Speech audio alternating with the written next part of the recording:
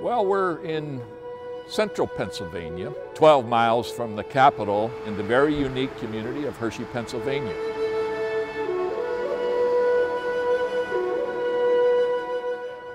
They call this town Chocolate Town.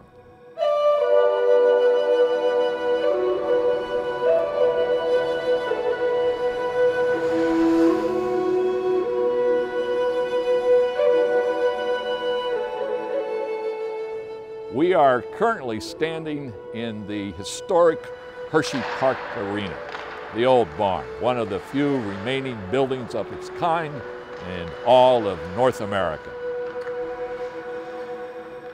My name is J. Bruce McKinney, the retired uh, chairman of the board and CEO of the Hershey Entertainment and Resort Company. I used to work here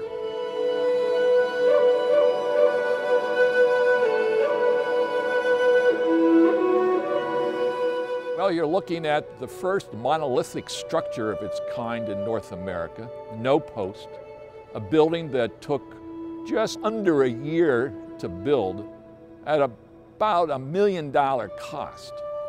And this was a group of laborers who worked almost round the clock and put this magnificent structure together in the mid 30s.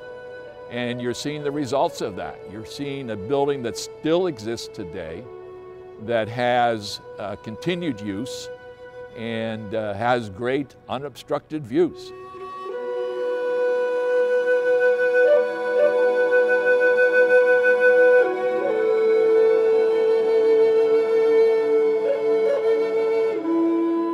Good evening, ladies and gentlemen, and welcome to Hershey Park Arena.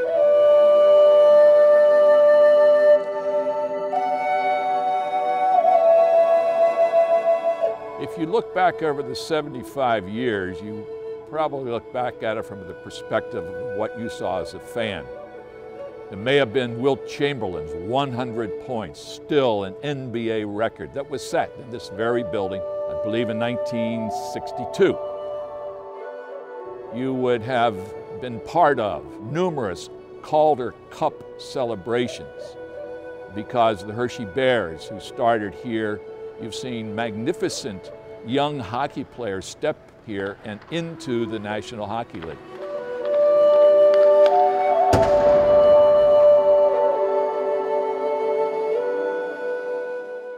You've seen JoJo Starbuck skate out to center ice on Valentine's Day as celebration of her birthday and Valentine's Day, which happened to be the date that Ice Capades were founded in Hershey, Pennsylvania.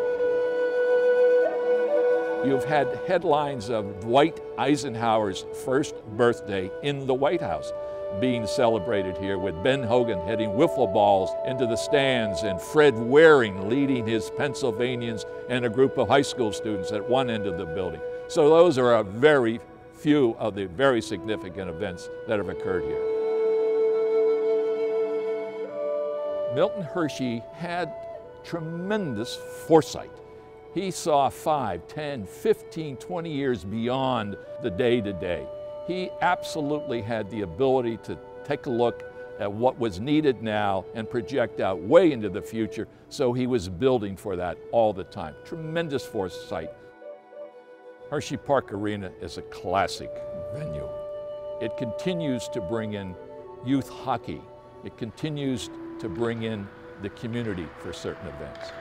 It's classic because it's still here. It's part of our history. It's part of our legacy. I absolutely love this place.